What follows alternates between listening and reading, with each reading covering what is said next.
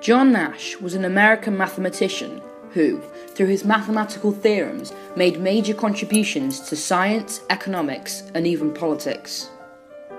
Nash was an expert in the field of game theory, which uses mathematical models to understand why rational beings make decisions and compete with other beings.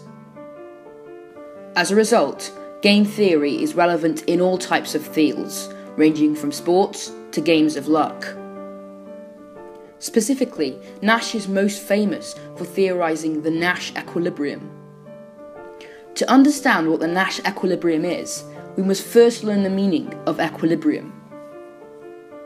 Equilibrium is where all variables within an environment remain stable.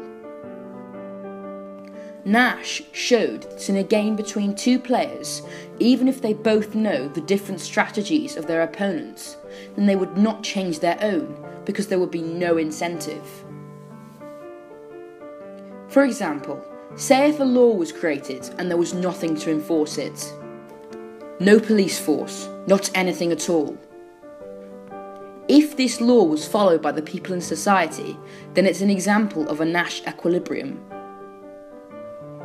Here you can see how it links to everyday life. Understandably, you may still be confused by this, and it still puzzles mathematicians all around the world.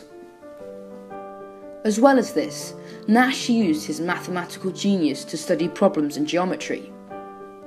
In 1994, he won the Nobel Peace Prize with other game theorists, and his ideas still remain relevant today. Thanks for watching, and please like and subscribe.